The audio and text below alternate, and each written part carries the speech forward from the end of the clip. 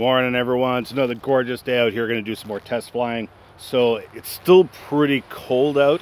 And if you recall, last time I was flying, there was um, some oscillations going on. There's actually two of them going on. One was like this, and the other was like this. Uh, the one going like this is what I'm trying to sort out because I had that tuned out, and then when the temperature dropped down to 16 below, it came back. So it's like surprised me that the temperature seemed to affect it.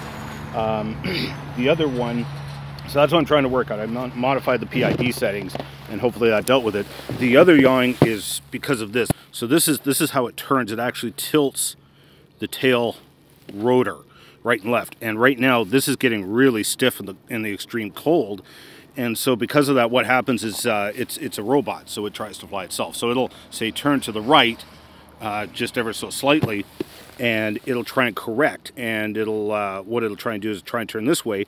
But because this is so slow by the time it is corrected and turned itself this way and it tries to react and bring this back this is so slow that it is now overshot and so it now tries to correct going the other way and then it overshoots. And so it goes back and forth back and forth back and forth. So that's the the sort of the right left hunting that you'll see which it'll probably do today just because it's so cold out. But hopefully i've gotten rid of the pid oscillations which was the biggest concern. The other thing normally when you get a remote control radio uh, this this is the way almost all them all the ones i've ever flown were like this. The throttle was on the left and so you can see it, it holds its position and this the rudder and then your elevator and uh, ailerons so your right, left, and bank and your uh, pitch angle.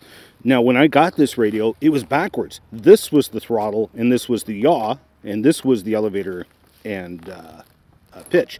So um, I totally had to reprogram myself on how to how to fly this thing because I grew up with radios like this. So just last week, I found out how to reverse these, and so these are awesome little radios, man. For 55 bucks, I think I paid for it. Nine channel radio completely configurable and programmable. So I figured out last just last week how to do this. So now I got to retrain myself because I've been flying backwards and now gotten used to it. So now I got to do some test flights and retrain myself on how to fly this thing. Okay, let's get this thing powered up and get the GPS locking onto a signal. One more test I got to do as well. Uh, last time when I lost control, um, I had never done a range check with the radio, and Luke had suggested that. Um, because last time, if you recall, I did something weird with the antenna, which I'd never done before. I've never had a problem with COM. That was the first time I lost control, so to speak. Um, so I'm going to do a quick range check, and uh, there's a little button on the radio for that. So I'm going to do a quick range check and uh, see if I see what kind of range we get. And it's just a touch breezy out here today but not a big deal. I don't mind flying in this, it's not a problem.